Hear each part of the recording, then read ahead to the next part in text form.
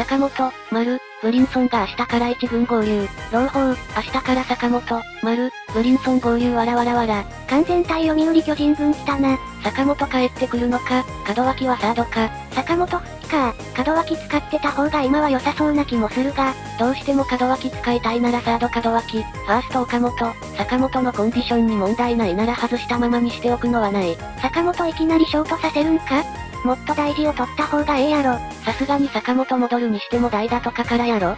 DH 欲しすぎる。坂本丸ブリンソン全部昇格か。実際まだ坂本ショートで動けてるように見えるし、6月も打撃絶好調だったし原でも本人の同意なしには動かせんな。坂本と門脇を交互に使えばいいだけ、コンバートとかやる意味ないよ。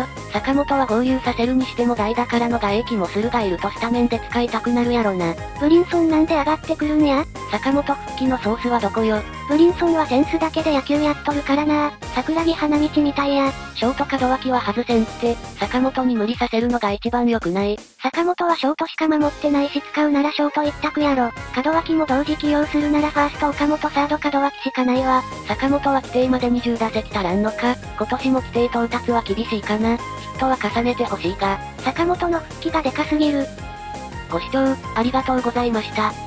チャンネル登録、高評価も、よろしくお願いします。